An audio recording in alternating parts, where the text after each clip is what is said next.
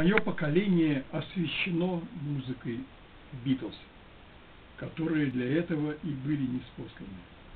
Ни одному поколению в истории не повезло так, как нашему. И всем народам надо было переходить от ненависти к любви, ибо пришло время. После Второй мировой бойни наступило успокоение. Даже политические напряги спали.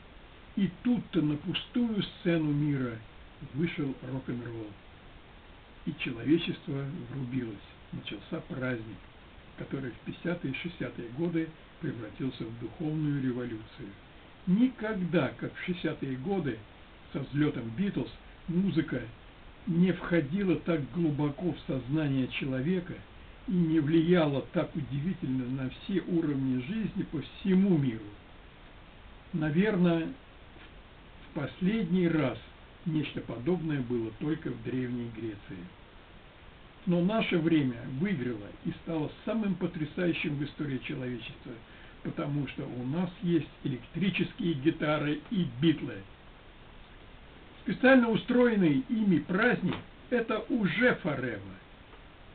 Он объединил молодое человечество в движении к любви и свободе. Это такая сила, перед которой все померкло и стало ерундой, даже смерть.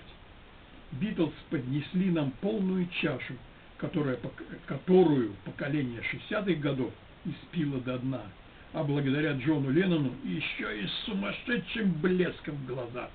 Ибо Джон и Битлз стали больше, больше, больше, чем музыка, больше, чем жизнь и любовь. Они стали безумием. Они стали высшей формой кайфа перед Богом. Наши отцы всю жизнь воевали друг с другом, портили воздух человечеству, отсиживали свои сроки ни за что, играя в начальников и молчальников. А мы всю жизнь пели, танцевали и безумно радовались, несмотря ни на что, ведь альтернативы не было. И до сих пор нет. На наших глазах Россия перешла из прошлого в будущее, сбросив камень совка с души, и мы были тому свидетелями. А наш любимый рок-н-ролл отлично озвучил этот процесс, ибо музыка Битлз есть лучшее, что Господь послал нам к столу жизни. Мы и сами вкусили, и другим поколениям дали попробовать. Пир продолжается, и музыка тоже. 2004 год оказался, как всегда, как любой другой год, из, из, этих, из этих 40 лет рок-н-ролла в России, оказался не только великим, а для Петербурга еще и апофеозным. События следовали одно за другим. Весь год – Весь 2004 год что-нибудь происходило. И первым событием года был день рождения Джорджа. Еще до дня рождения Джорджа, до 25 февраля, которым обычно открывается Нью Битловый год, мы тихо узнали, что Пол едет к нам концертом.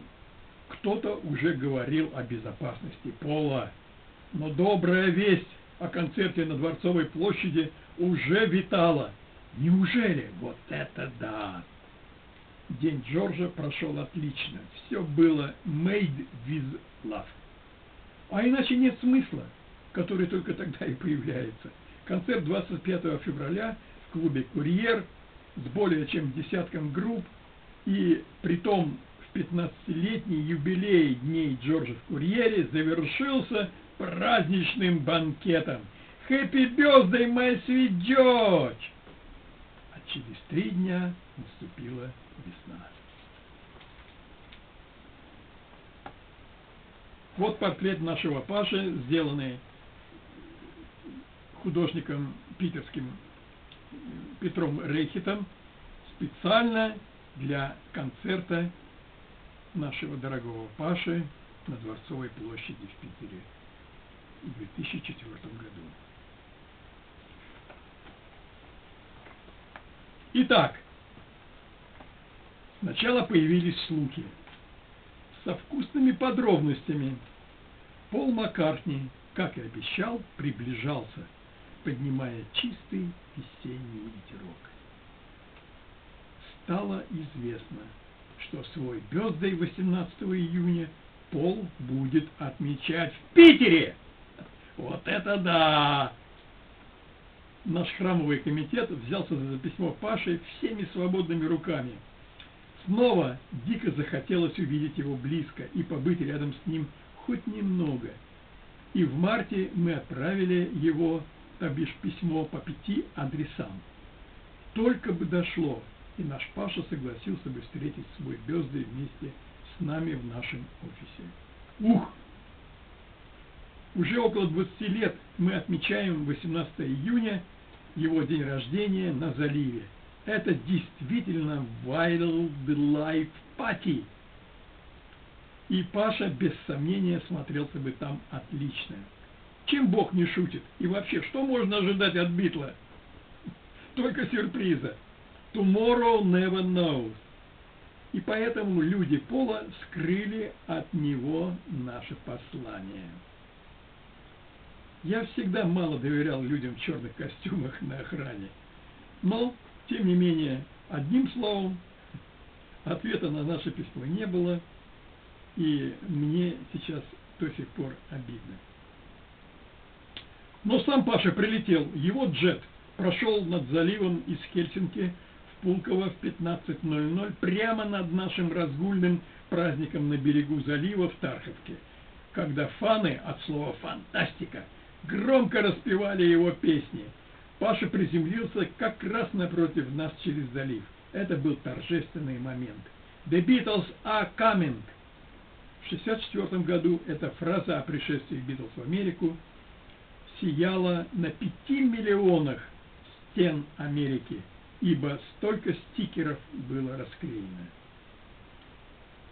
Пришествие второго из четырех Битлов в Россию в 2004 году также имело отличную, хотя и не, и не подсчитанную рекламу.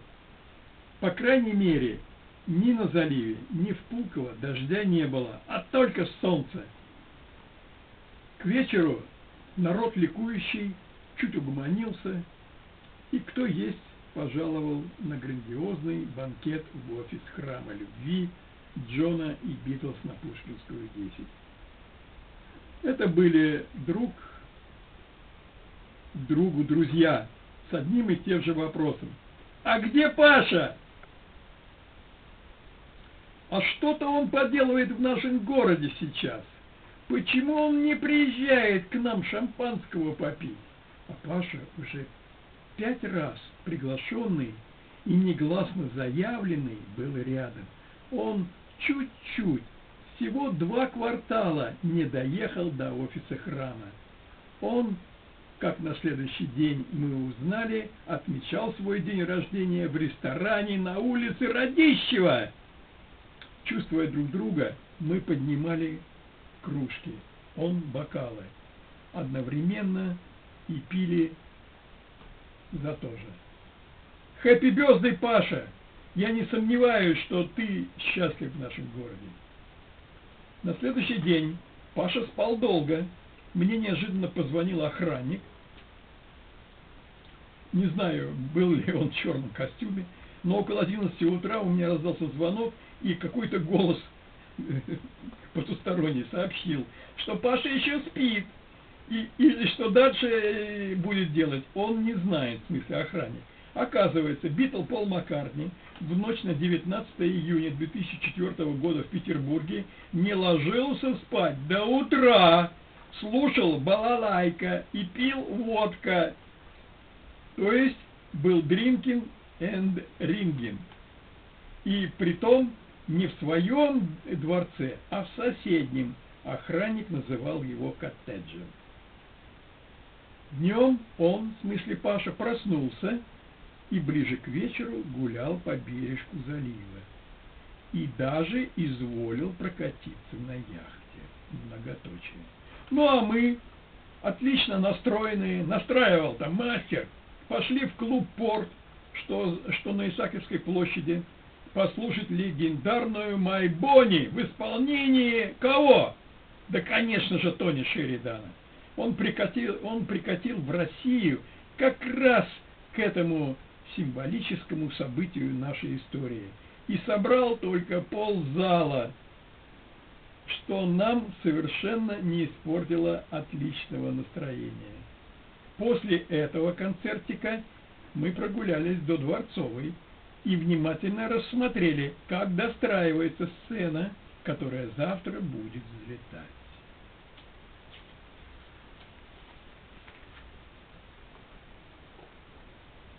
Потом наступило 20 июня 2004 года, Sunday.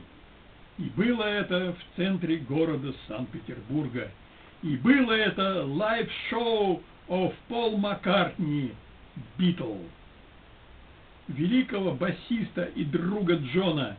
И хотя перед шоу пошел дождь, тьфу, черт бы его драл, но именно в тот момент, когда Пол вышел на сцену и запел «Джет», выглянуло солнце.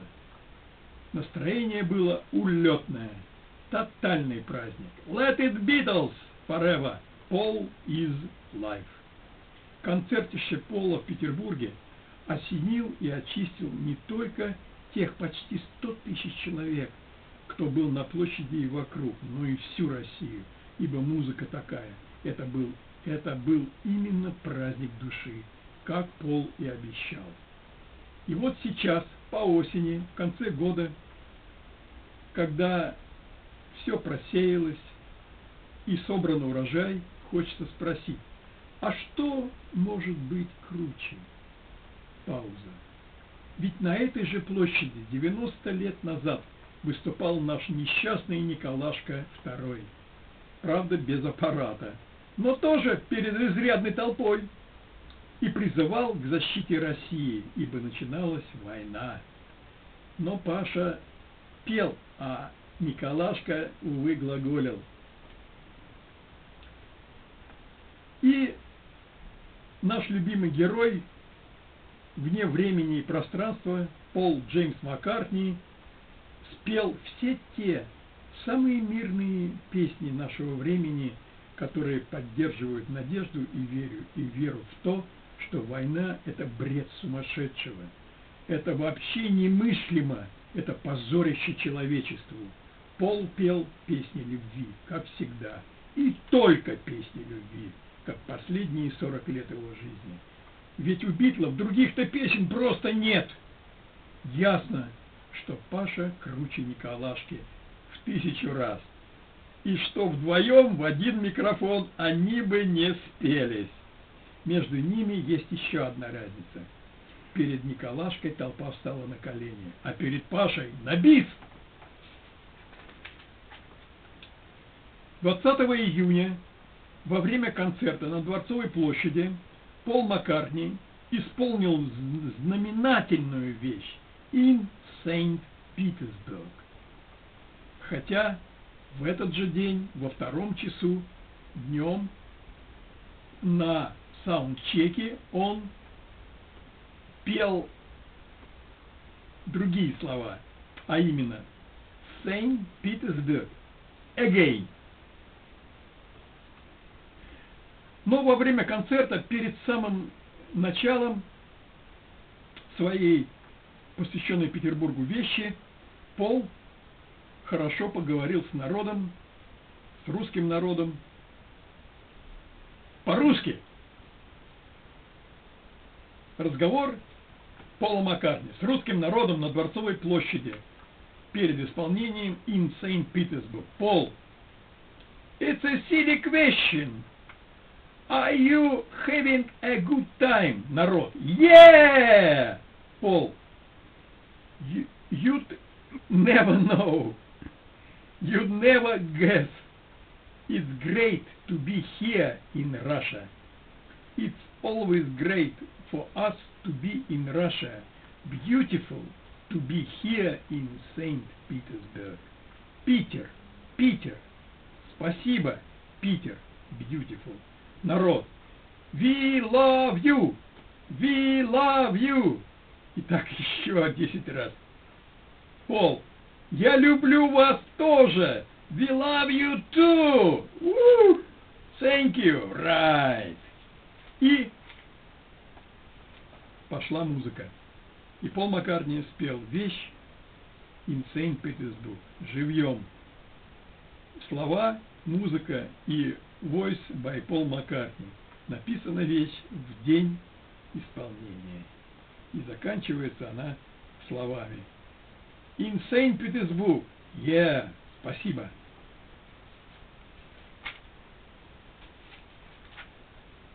Остается Джон. Если дать воображению волю, что Джон нам и предлагает, и представить концерт Джона на Дворцовой площади, то многоточие. Джон обязательно из любви приведет японку, которая своим спешл номером будет разбивать поток джоновской музыки. А вот если бы японки не было бы, и не было бы ее шороха в клубе пор, то Джон накатил бы девятый вал своей музыки с группой Double Fantasy, of course, на Дворцовой площади. Вот тогда бы мы увидели, кто круче на сцене, Джон или Пол. А что вообще круче, музыка скорби или музыка радости?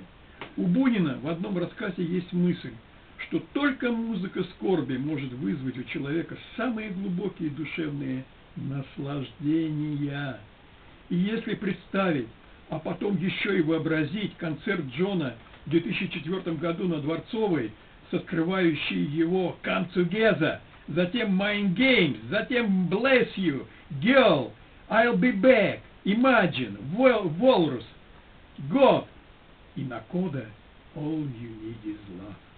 Она так и слышится в расширенном варианте минут на 15-20 и с участием нас всех. Вот это был бы хор.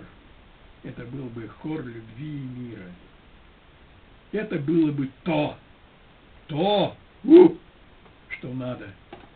То, это концерт Джона в 2004 году в Петербурге, должен был бы закончиться откровением человечеством кающимся кающимся со слезами и молящимся о всепрощении.